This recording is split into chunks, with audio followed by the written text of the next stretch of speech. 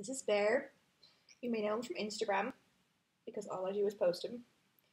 He is just making a brief appearance because he's about to go uh, bark at some seagulls in the back garden or scream for some bits of bacon because I just had a bacon sandwich and it was so good. Say hello! Come on! Ugh, no, doesn't want any of it. Anyway, this is my second video um, in my video series. Uh, just getting me a cup of tea. Actually, it's a cup of hot water. I don't really drink tea. I find um, caffeine makes me feel unnecessarily anxious, and I don't need any extra stimulants. So, hot water is is my jam.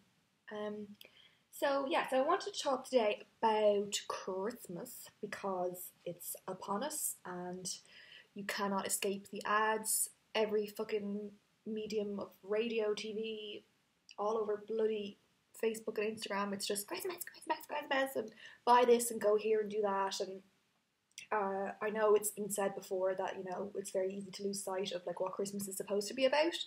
Um, so I'm not going to claim that this is anything new, but I do think it's really important to sort of take stock before you go into this sort of mad phase and decide what kind of Christmas you want to have. So I always get a little bit overwhelmed. Bear is chewing on my shoe now. Uh, I'm just going to let him do that. I also get a little bit overwhelmed this time of year because, um, well, I do since I started to really struggle with anxiety because I feel under pressure to, and it's under pressure from myself, but I guess you're soaking it in from, you know, it's coming at you from all angles to to be really happy and um, all those songs that say, you know, it's the most wonderful time of the year. It's also like a really highly pressurized time of the year where you're trying to get to the finish line of work, you're trying to get things done. Everyone's trying to gear up for a break, which is so needed, but by the time you get the break, you're so kind of worn out.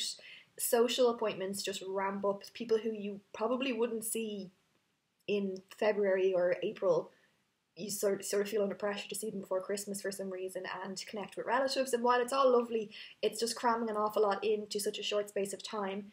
Um, so I find it can be a little bit tough. Um, and, and you know, oh my god, he's after pulling off the fucking bit of these are new new runners. He just pulled off a little tag at the back of them. Fuck's sake, there. Anyway, I digress. Um, yeah, it can be. Completely lost my train of thought now. Um, if you're feeling particularly low, or you know you're going through something, it's going to be like ten times harder, and you know that. Um, but I just think you need to decide that, okay, if you wanted to go along with that and ride the wave, which my T-shirt says, um, of Christmas, and you enjoy that, fine. Like if you love it, that's great. I used to really love it, and now I feel a little bit allergic sometimes because I just feel under the pressure to. Also, there's the pressure of um, trying to be well over Christmas, like you know how fucking cold it gets, and you've got the heating on full blast, and I invariably always get some kind of flu. But I got the flu jab this year, so I suppose I probably built up a, a bit of a negative association with it because I find in the I found in the past that I you know I struggled to to get through the whole Christmas period unscathed. Um, and definitely by the time Christmas Day rolls around, you just sort of feel this anticlimax of, you know, what was all that kind of panicking and rushing around for, and even like we've, I think it's just gone mad now, like Black Friday and Cyber Monday, just this unbelievable pressure to that you convince yourself that you need to buy things that like you never would have bought were it not for these ads. Um, and I'm part of it too. Like, I mean, I'm a journalist and I promote these things, and you know, it's my job. And of course, you want to spend money at Christmas, but I think you need to.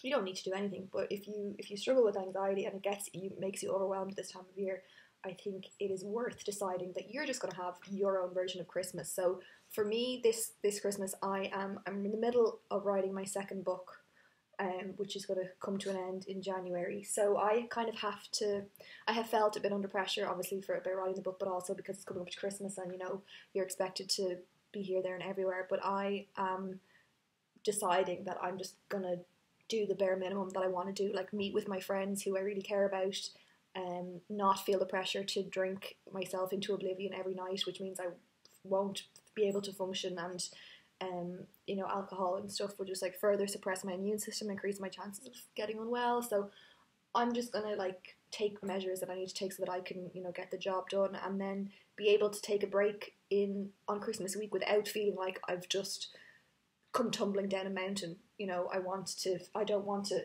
What happens often is that you know you go go go and then you stop and then suddenly you're like, so I just don't want that to happen. I want to kind of have a more mindful Christmas experience this year, even if that sounds kind of bullshitty. Um, and I've got my plans made already. So like I have a couple of Christmas um, events that I'm really looking forward to, but I'm not cramming my calendar in with something on every night because that just doesn't serve me well. I don't. It's not that I'm like antisocial, but I need like nights in. I need cozy nights in. I need just to chill. So um, there'll be lots of that, and um, yeah. So try and zone out if you can of all the, the ads telling you how happy you should be and how wonderful a time of year it should be. Everyone's going through different things, and I think you know you should use it as an opportunity to take stock and to chill and enjoy some time with family, but um, don't feel under pressure to to be all things to all people. And my computer just went dark there, so I don't know if that's still working. It is. Clearly, I'm not very experienced with um, these video making things, and Bear is still chewing at my feet.